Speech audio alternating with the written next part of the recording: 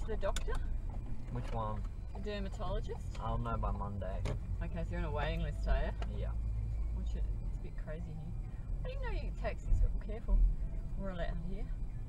Thank God didn't look. Took a break.